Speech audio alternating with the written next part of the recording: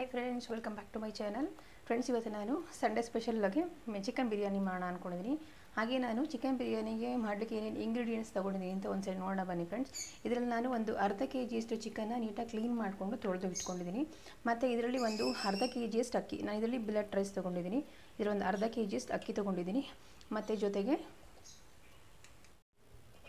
ಮತ್ತು ನಾನು ಇಲ್ಲಿ ಒಂದು ನಾಲ್ಕು ಒಂದು ನಾಲ್ಕು, ಒಂದು ನಾಲ್ಕರಿಂದ ಐದರಷ್ಟು ಟೊಮಾಟೊನ ಹಚ್ಚಿಟ್ಕೊಂಡಿದ್ದೀನಿ ಒಂದು ಸ್ಪೂನಷ್ಟು ಚಿಲ್ಲಿ ಪೌಡ್ರ್ ತೊಗೊಂಡಿದ್ದೀನಿ, ಮತ್ತು ಒಂದು ಸ್ಪೂನಷ್ಟು ಧನಿಯಾ ಪೌಡ್ರು, ಮತ್ತು ಒಂದು ಸ್ಪೂನಷ್ಟು ಗರಂ ಮಸಾಲ ತೊಗೊಂಡಿದ್ದೀನಿ, ಮತ್ತು ಜೊತೆ ಒಂದು ಸ್ಪೂನಷ್ಟು biryani powder, chicken biryani powder ತೊಗೊಂಡಿದ್ದೀನಿ, ಒಂದು ಅರ್ಧ ಸ್ಪೂನಷ್ಟು ಅರಿಶಿನ ತೊಗೊಂಡಿದ್ದೀನಿ, ಒಂದು ಎರಡು ಸ್ಪೂನಷ್ಟು ಶುಂಠಿ ಬೆಳ್ಳುಳ್ಳಿ ಪೇಸ್ಟ್ ತೊಗೊಂಡಿದ್ದೀನಿ, ಮತ್ತು ಒಂದು ಒಗ್ಗರಣೆಗೆ ಒಂದು ಮೂರು ಸ್ಪೂನಷ್ಟು ಎಣ್ಣೆ ತೊಗೊಂಡಿದ್ದೀನಿ, ಒಂದು ಅರ್ಧ ಮುಕ್ಕಾಲು ಕಪ್ಪಷ್ಟು ಒಂದು ಮೊಸರು ತೊಗೊಂಡಿದ್ದೀನಿ, ಮತ್ತು ರುಚಿಗೆ ತಕ್ಕಷ್ಟು ಉಪ್ಪು, ಮತ್ತು ಒಗ್ಗರಣೆಗೆ ಒಂದು ಎರಡು ಪೀಸು ಒಂದು ಎರಡು ಪೀಸಷ್ಟು ಏಲಕ್ಕಿ ತೊಗೊಂಡಿದ್ದೀನಿ, ಒಂದು ಮೂರು ಪೀಸಷ್ಟು ಚಕ್ಕೆ ತೊಗೊಂಡಿದ್ದೀನಿ, ಮತ್ತು ಒಂದು ನಾಲ್ಕು ಪೀಸಷ್ಟು ಲವಂಗ ತೊಗೊಂಡಿದ್ದೀನಿ, ಎರಡು ಪಲಾವ್ ಎಲೆ ಮತ್ತು ಎರಡು ಮರಾಠಿ ಮಗು ತೊಗೊಂಡಿದ್ದೀನಿ.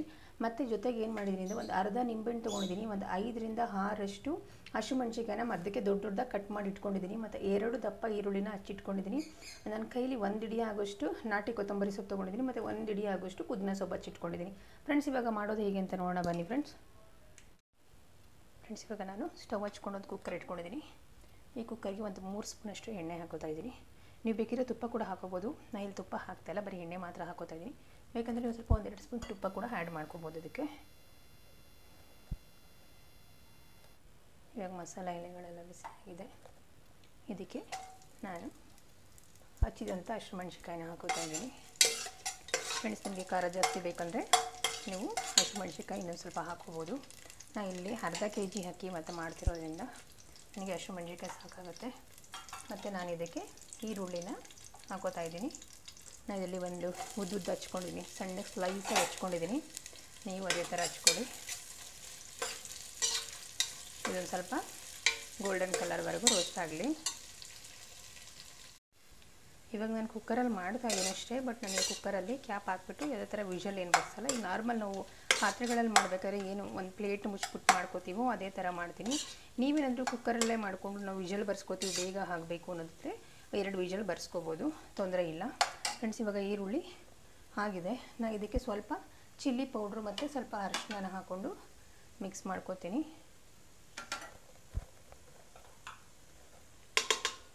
ಜೊತೆಗೆ ಶುಂಠಿ ಬೆಳ್ಳುಳ್ಳಿ ಪೇಸ್ಟ್ ಕೂಡ ಹಾಕೋತೀನಿ. ಮಿಕ್ಸ್ ಮಾಡ್ಕೋತೀನಿ. ಶುಂಠಿ ಬೆಳ್ಳುಳ್ಳಿ ಪೇಸ್ಟು ಹಸಿ ಸ್ಮೆಲ್ ಹೋಗಬೇಕು. ಹಾಗೆ ಈ ಏನು ಹಾಕ್ಕೊಂಡಿರ್ತೀವ ನಾವು ಚಿಲ್ಲಿ ಪೌಡ್ರು ಅದು ಸ್ವಲ್ಪ ಮೆಣಸಿನ್ಕಾಯಿದೆಲ್ಲ ಸ್ವಲ್ಪ ಗಾಡ್ ಥರದ್ದೆಲ್ಲ ಹೋಗಬೇಕು ಒಂದು ಎರಡು ನಿಮಿಷ ಇದನ್ನ ಹುರ್ಕೊಳ್ಳೋಣ. ಇವಾಗ ಇದಕ್ಕೆ ನಾನು ಹಚ್ಕೊಂಡಿರುವಂಥ ಟೊಮೊಟೊ ಹಾಕೋತಾ ಇದ್ದೀನಿ. ನಾನು ಇವಾಗ ಅರ್ಧ ಕೆ ಜಿಗೆ ಒಂದು ಐದು ಟೊಮೊಟೊ ತೊಗೊಂಡಿದ್ದೀನಿ. ನೀವು ಏನಾದರೂ ಒಂದು ಕೆ ಜಿ ಮಾಡೋದಿದ್ದರೆ ಅದು ಎಂಟರಿಂದ ಒಂಬತ್ತು ಟೊಮೊಟೊನಾದ್ರು ತೊಗೋಬೇಕಾಗತ್ತೆ. ಇದು ಟೊಮೊಟೊ ಎಲ್ಲ ಚೆನ್ನಾಗಿ ಬೆಂದು ಸ್ಮ್ಯಾಶ್ ಆಗಿ ಎಣ್ಣೆ ಎಣ್ಣೆ ಥರ ಬಿಟ್ಕೋಬೇಕು. ಅಲ್ಲಿವರೆಗೂ ಟೊಮೊಟೊ ಚೆನ್ನಾಗಿ ಫ್ರೈ ಮಾಡ್ಕೋಬೇಕು. ಫ್ರೆಂಡ್ಸ್ ಇದ್ರಲ್ಲಿ ನಾನು ಯಾವುದೇ ಮಸಾಲೆ ಏನೂ ರುಬ್ಬಿ ಮಾಡ್ತಾ ಇಲ್ಲ. ಯಾಕೆಂದರೆ ಕೆಲವರಿಗೆ ಗ್ಯಾಸ್ಟಿಕ್ಕು ಅದು ಇದು ಇದೆ ಅನ್ನೋರು, ಮತ್ತು ಕೆಲವರಿಗೆ ರುಬ್ಬಿ ಹಾಕಿದ್ದು ಆಗಲ್ಲ ಅಂಥವ್ರಿಗೆಲ್ಲ ಇದೊಂಥರ ತುಂಬ ಚೆನ್ನಾಗಿರುತ್ತೆ, ತುಂಬ ಟೇಸ್ಟ್ ಕೂಡ ಇರುತ್ತೆ. ಒಂದ್ಸಲ ಟ್ರೈ ಮಾಡಿ ನೋಡಿ ನೀವು ಕೂಡ ಮನೆಯಲ್ಲಿ, ತುಂಬ ಚೆನ್ನಾಗಿರುತ್ತೆ ಟೇಸ್ಟು ಫ್ರೆಂಡ್ಸ್ ಇನ್ನೂ ಯಾರ್ಯಾರು ನನ್ನ ಚಾನಲ್ ನೋಡ್ತಾ ಇದ್ದು ಸಬ್ಸ್ಕ್ರೈಬ್ ಮಾಡ್ಕೊಂಡಿಲ್ವೋ ಪ್ಲೀಸ್ ಸಬ್ಸ್ಕ್ರೈಬ್ ಮಾಡ್ಕೊಳ್ಳಿ. ಹಾಗೆ ನಿಮಗೆ ಇಷ್ಟ ಆದರೆ ಒಂದು ಲೈಕ್ ಮಾಡಿ, ಮತ್ತು ನಿಮ್ಮ ಫ್ರೆಂಡ್ಸ್ಗೆ ಫ್ಯಾಮಿಲಿ ಮೆಂಬರ್ಸ್ಗೆ ಶೇರ್ ಮಾಡಿ. ನೀವು ಆ ಥರ ಲೈಕ್ ಮಾಡಿ ಶೇರ್ ಮಾಡೋದ್ರಿಂದ ನಮಗೊಂಥರ ಇನ್ಸ್ಪಿರೇಷನ್ ಬಂದಂಗೆ ಆಗುತ್ತೆ. ನಾವು ನೆಕ್ಸ್ಟ್ ನೆಕ್ಸ್ಟು ಹೊಸ ವೀಡಿಯೋಗಳು ಆಗೋಕ್ಕೆ ನಮಗೊಂಥರ ಸ್ಫೂರ್ತಿ ಸಿಕ್ಕಾಗುತ್ತೆ ಇವಾಗ ಇದು ಸ್ವಲ್ಪ ಚೆನ್ನಾಗಿ ಸ್ಮ್ಯಾಶ್ ಆಗಲಿ ಟೊಮೊಟೊ. ಇವಾಗ ನೀವು ನೋಡ್ಬೋದು, ಟೊಮೊಟೊ ಎಲ್ಲ ಫುಲ್ ಸ್ಮ್ಯಾಶ್ ಆಗಿದೆ. ನಾನು ಇವಾಗ ಇದಕ್ಕೆ ಏನಿದೆ ಚಿಕನ್ನ ಹಾಕೋತಾ ಇದ್ದೀನಿ. ಕ್ಲೀನ್ ಮಾಡಿ ಇಟ್ಕೊಂಡಿರುವಂಥ ಚಿಕನ್ನ ಹಾಕೋತಾ ಇದ್ದೀನಿ. ಅದನ್ನು ಮಿಕ್ಸ್ ಮಾಡ್ಕೋತೀನಿ.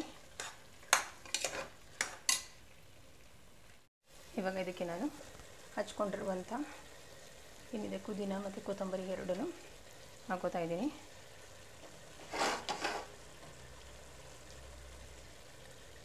ಹಾಕ್ಕೊಂಡು ಮಿಕ್ಸ್ ಮಾಡ್ಕೊಳ್ಳೋಣ.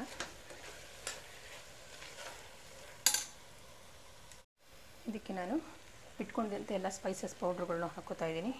ಧನಿಯಾ ಪೌಡ್ರು ಗರಂ ಮಸಾಲ, ಮತ್ತು ಸ್ವಲ್ಪ ಬಿರಿಯಾನಿ ಪೌಡ್ರ್ ಏನಿದೆ, ಇದಿಷ್ಟನ್ನು ಹಾಕ್ಕೊಂಡು ಇಟ್ಕೊಂಡಿದ್ದಂಥ ಮೊಸರು ಕೂಡ ಹಾಕ್ಕೊಂಡು ಮಿಕ್ಸ್ ಮಾಡ್ಕೋಬೇಕು ಇದನ್ನು. ಇದನ್ನು ನೀಟಾಗಿ ಮಿಕ್ಸ್ ಮಾಡ್ಕೊಳ್ಳೋಣ. ಮತ್ತು ಇದಕ್ಕೆ ನಾನು ಸ್ವಲ್ಪ ಈ ಚಿಕನ್ ಬೇಯಲಿಕ್ಕೋಸ್ಕರ ಸ್ವಲ್ಪ ಉಪ್ಪನ್ನ ಹಾಕೋತೀನಿ ಇದು ಫ್ರೆಂಡ್ಸ್ ಮಿನಿಮಮ್ ಅಂದರೂ ಒಂದು ಹದಿನೈದು ನಿಮಿಷನಾದರೂ ಚೆನ್ನಾಗಿ ಬೇಯಬೇಕು. ಅಂದರೆ ಒಂದು ಫಿಫ್ಟಿ ಪರ್ಸೆಂಟ್ ಏನಿದೆ, ಒಂದು ಅರ್ಧದಷ್ಟು ಚಿಕನ್ನು ಈ ಒಗ್ಗರಣೆಯಲ್ಲೇ ಫುಲ್ ಎಲ್ಲ ಬೆಂದೋಗಬೇಕು. ಇವಾಗ ನೋಡಿ ನಾನು. ಉಪ್ಪು ಕೂಡ ಹಾಕ್ಕೊಂಡಿದ್ದೀನಿ ಚಿಕನಿಗೆ. ಇದನ್ನು ಚೆನ್ನಾಗಿ ಒಂದು ಹದಿನೈದು ನಿಮಿಷ ಒಂದು ಕ್ಯಾಪ್ನ ಕ್ಲೋಸ್ ಮಾಡಿ ಬೇಯಕ್ಕೆ ಇಡ್ತೀನಿ. ನೋಡ್ಕೊ ಇವಾಗ ನೋಡ್ಬೋದು ಒಂದು ಫಿಫ್ಟಿ ಪರ್ಸೆಂಟಷ್ಟು ಚಿಕನ್ ಬೆಂದಿದೆ. ಇವಾಗ ಇದಕ್ಕೆ ನಾವು ನೀರನ್ನ ಹಾಕೊಳ್ಳೋಣ. ನೀರು ಅಂತಂದರೆ ಇದರಲ್ಲಿ ನಾನು ಈ ಗ್ಲಾಸಲ್ಲಿ ನೀವು ನೋಡ್ಬೋದು. ನಾನು ಈ ಗ್ಲಾಸಲ್ಲಿ ಎರಡು ಗ್ಲಾಸ್ ಅಕ್ಕಿ ತೊಗೊಂಡಿದ್ದೀನಿ. ಹಾಗೆ ನಾನು ಇದೇ ಗ್ಲಾಸಲ್ಲಿ ಒಂದು ನಾಲ್ಕು ಗ್ಲಾಸಷ್ಟು ನೀರು ಹಾಕೋತೀನಿ. ಇವಾಗ ನಾನು ನೀರನ್ನು ಹಾಕೋತಾ ಇದ್ದೀನಿ.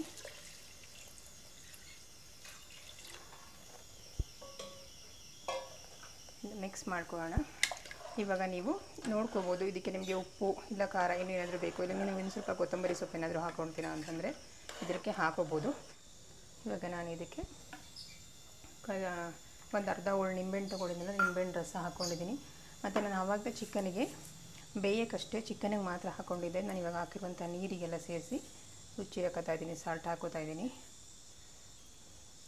ನಿಮಗೇನಾದರೂ ಖಾರ ಬೇಕಂದರೆ ನೀವು ಸ್ವಲ್ಪ ಹಾಕೋಬೋದು, ತೊಂದರೆ ಇಲ್ಲ. ಇವಾಗ ನಾನು ಮಿಕ್ಸ್ ಮಾಡಿಬಿಟ್ಟು ಒಂದು ಐದು ನಿಮಿಷ ನೀರು ಚೆನ್ನಾಗಿ ಕುದಿಯೋಕ್ಕೆ ಬಿಡ್ತೀನಿ.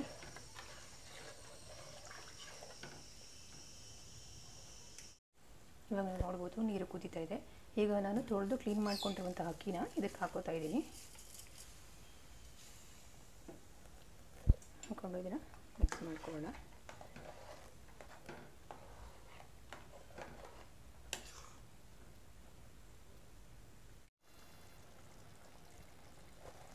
ನೋಡ್ಬೋದು.